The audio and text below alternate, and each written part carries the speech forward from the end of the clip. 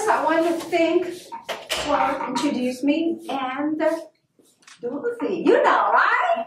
She is from know school. Yeah. She invited me to come here and uh, want to give you some lecture and also show how to make some art. So I hope you will learn some Chinese history, culture, and art.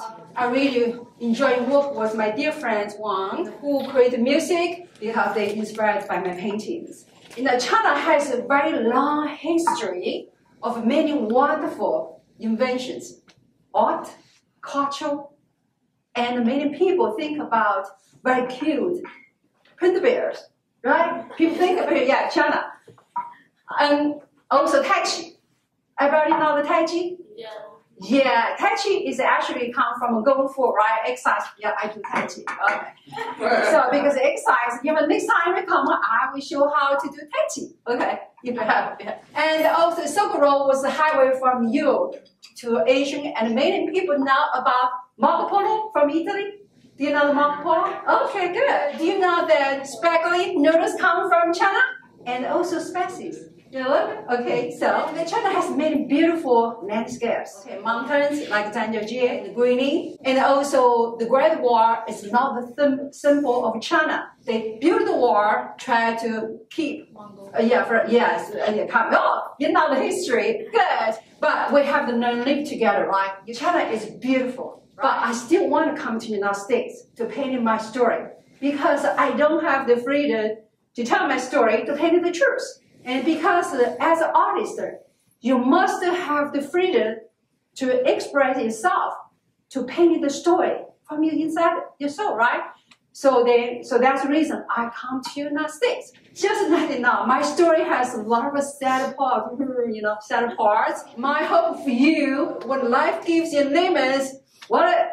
Maybe. Yes, first, I painted my story and write my book, Diary of Dragon's Star. They have 500 images in this book. So I explore the relationship between my personal story because it's all about my family story and Chinese history and the fine art. So these paintings are in my book. This painting, they surround the window and me of photographies and my mother, my father, all my members, my families. I believe everyone in here has a family story to tell about the journey to America.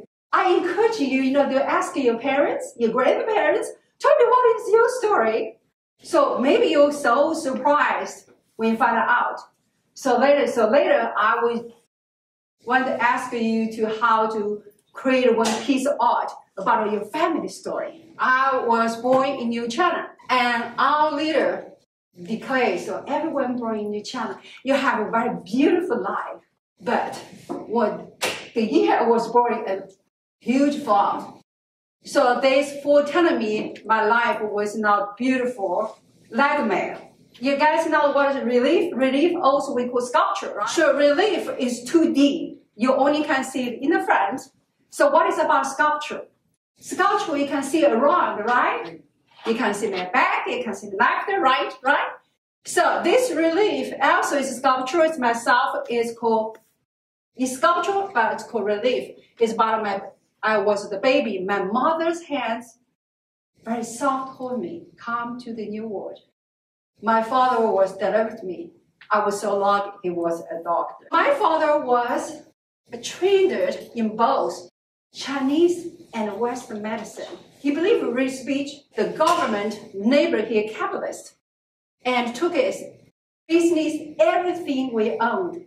If you're educator, teacher, you're not good during this time in China. When I was a very little girl, my father always hide under the blanket to listen the voice of American. Do you know voice of American? The video? Oh, you're not good. And my father wanted to find the truth. What happened in China? You know, we're living in like hell. You know, for me, as a little girl, I thought my father played the game. I want to play the game with my father.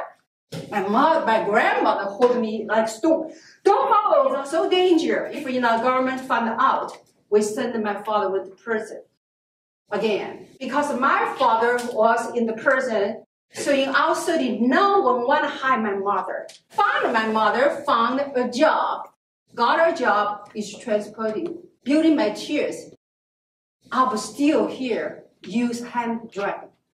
Very hard. When I was like eight years old, my brother and I was we were always waiting here, have my mother push the wagon up here my brother and I will still remember there. So in China, we have so many movements, revolutions. So this is one movement is called Great Chinese Famine. Millions, millions Chinese died from starvation. We don't have food. I was always hungry. And my grandma and my mother sold everything they had and tried to get a little food for us. One day at dinner time, I remember we have a little bit meat. Taste just a little bit bacon. And after eat, ask my grandma, do you have more? My grandmother said, I just caught a little small mouse. I hope you never hungry to eat a mouse, right? Do you understand what I say? Yeah. Okay, so I put a picture of mouse in here, so make sure you understand it's a mouse. This painting is about my father, what I call triptych. Why I call triptych? Why called triptych? You guys know? You have three paintings together called triptych. One, two, three. They separate. Triptych. So first the painting is my father was in the prison and the Douglas of his life. Not home.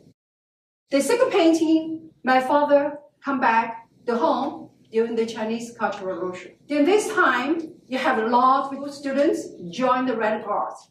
They always have a conference and the porter like my father outside of the punishment. This is my father, my father, and how they ended his life.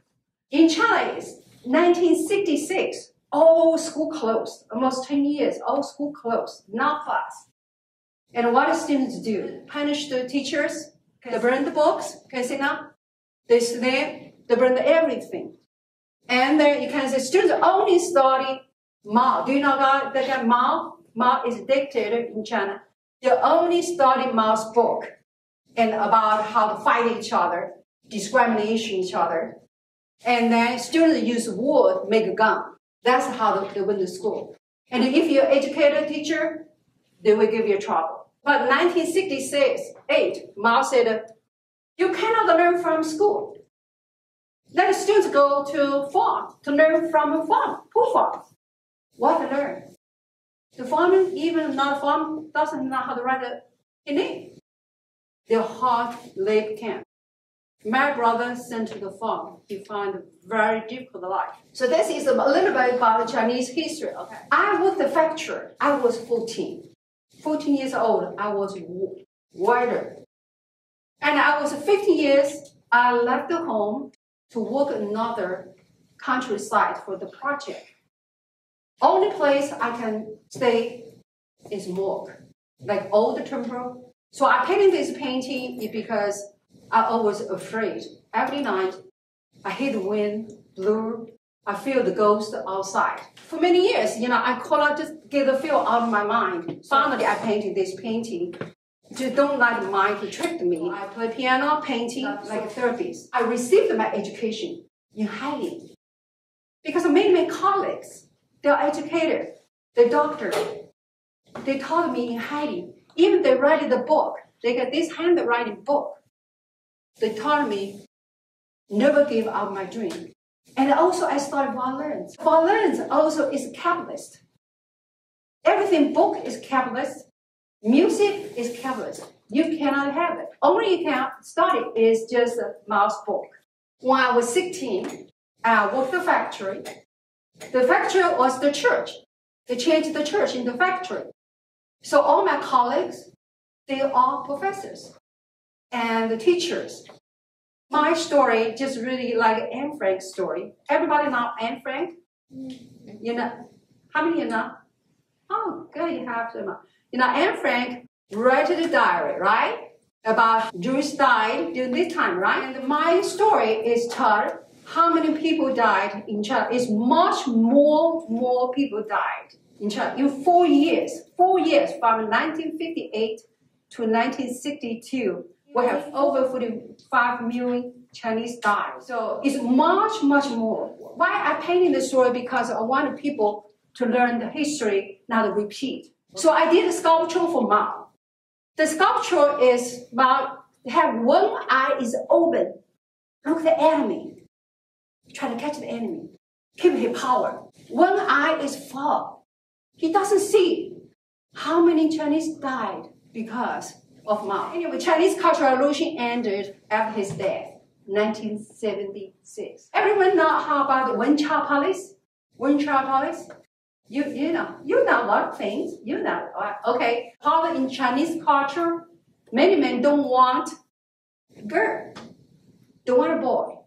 Because for many reasons, one, discriminate the girl, and also you only have one child.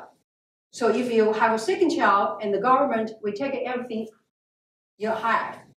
In the farms, we take your house, everything. I did this painting is part of my own life because my husband, my ex-husband was treat me and my daughter as second citizen. Painting the story how to show me in the middle of the night, take my daughter to the, the hospital. I write a lot of my personal experience and my personal story. There were many, many times I was very discouraged and uh, lost hope. But always someone there to encourage you never give up dream. This painting is called I Want to Be Known. Because I went to the mountains, I want to be the known. I feel life so difficult. Monk talked overnight. We never give up your dream. So I want to show some painting. It's not about the Cultural Revolution, not about the Chinese Revolution. It's about a different culture, about three inch feet. In China, in, during this time, if your family very rich, have a lot of money, the children will begin to bond the feet for three inches, these nuns. Three, only for rich family, okay? And the bond of the feet, like this. The beginning start the process when they're three years old. So painful. This is my grand-grandmother. She was from a rich family. She had a foot bending, and she had a very sad life and a story. Because your foot bending, you cannot walk. Okay, you cannot walk. You have the servants help you. My other grandmother, your parents would breathe. You love to not give a bending. If the education has the boy, but the, the society did not accept my grandmother because she has normal feet. They call big feet. You cannot big feet. We call my feet is big feet. Okay, you all have big feet. This called normal feet.